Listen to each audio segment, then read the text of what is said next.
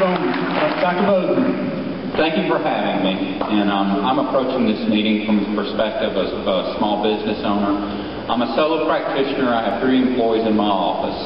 And what I see that's been happening is that I think government has been in the process of taking over health care. If you look at the statistics, they already control about 50% of health care spending through Medicaid, Medicare, and the federal employees.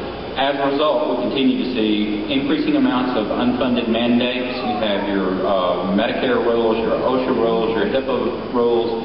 Um, all these things go to up your cost, and in no time has there been any talk of court reform. As a result of this, what you're seeing is a decrease in competition because the solo practitioners are going to cease to be able to function and exist, and an acceleration um, of your bigger corporate medicine, so to speak. But uh, what this healthcare proposal does, I think, is just accelerate a process that's already in place. And if we don't do something to try to take their back control of our healthcare, that um, you know, 20 years from now, when we really do need physicians, um, we're going to see uh, uh, worse quality medicine being practiced at that